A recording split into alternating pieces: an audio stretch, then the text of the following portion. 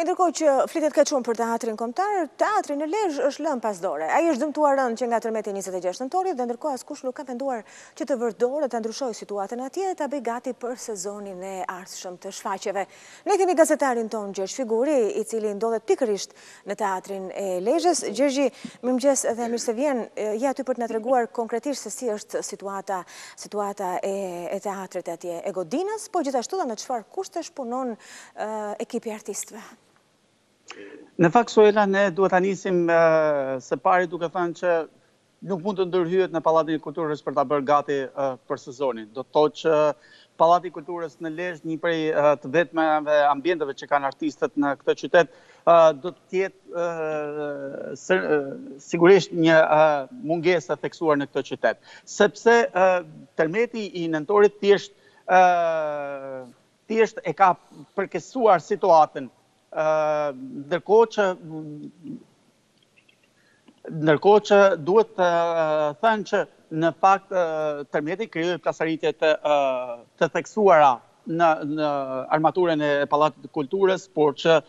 realisht Pallati i Kulturës në Lezhë ka probleme akoma më të thella. Nëse i referohemi shfaqjeve sigurisht që nga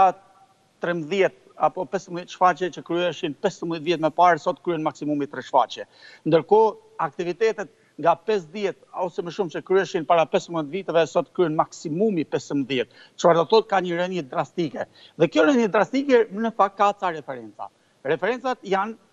sepse Pallatit të Kulturës në Lezhë i mungon pikë së pari dhe ndoshta duket banale, por është absolutisht e vërtetë. I mungojnë banjot. Nëse një artist Një publik do të vijë në Pallatin e Kulturës duhet të mendojë edhe për këtë detaj jo pak të rëndësishëm. Por në verë është shumë ftohtë, në dimër është shumë ngrohtë. Është një temperaturë që asnjëherë nuk është e përshtatshme për artistët. Ndërkohë, thuajse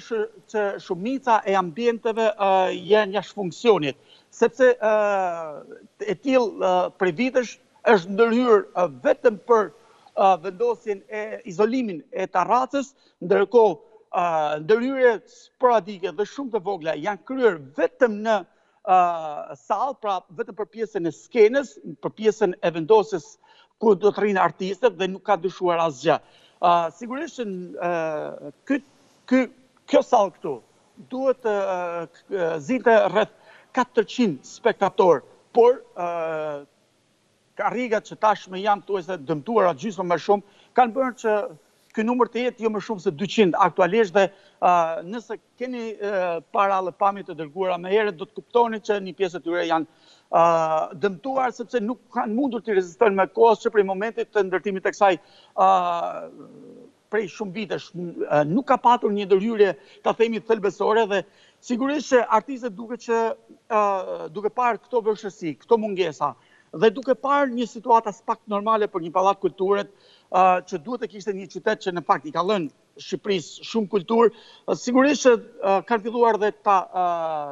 abandonojnë, ta braktisin këtë pallat kulture dhe duke mos menduar kthimin e tyre. Janë të paktë artistët lezhjanë që në fakt më pas kthehen në Pallatin e Kulturës dhe gjithçka, sepse kjo godinë nuk jep mundësi për realizimin e shfaqjeve normale, nuk po themi të ketë kushte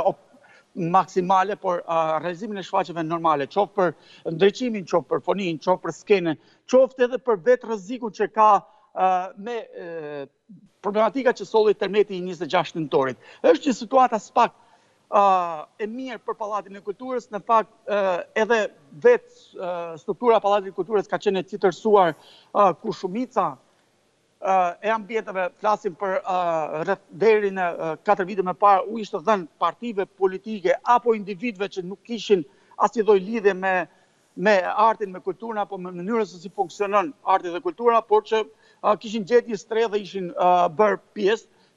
Tashmë këto subjekte politike janë larguar, por ambientet që ata kanë lënë pas janë Të nderuar teleshikues, ne ishim kështu me gazetarin tonë Gjesh Figuri, i cili na raportonte nga Pallati i Kulturës në Lezhë dhe pikërisht nga skena e teatrit në këtë Pallat Kulture, duke na treguar kushtet e vështira të një ndërtese të amortizuar e cila u trondit edhe më shumë nga tërmeti i 26 nëntorit, kur në një anë shumë mirë kjo ndërtesë mund të shfrytëzohej dhe të ishte funksionale edhe gjatë stinës së verës, duke patur parasysh që është kaq pranë plazhit të Shëngjinit, të Talës dhe Kunës dhe mendohet se Pse jo, pushuesit nuk kanë nevojë vetëm për det, por kanë nevojë edhe për jetë artistike dhe kulturore dhe kjo mund të ishte, kjo sallë dhe kjo qendër kulture mund të ishte edhe një pikë më shumë tërheqëse, një atraksion më tepër turistik për qytetin e Lezhës, por që për momentin është në kushte shumë të rënda, madje duke i munguar edhe ato më të thjeshtat siç janë tualetet.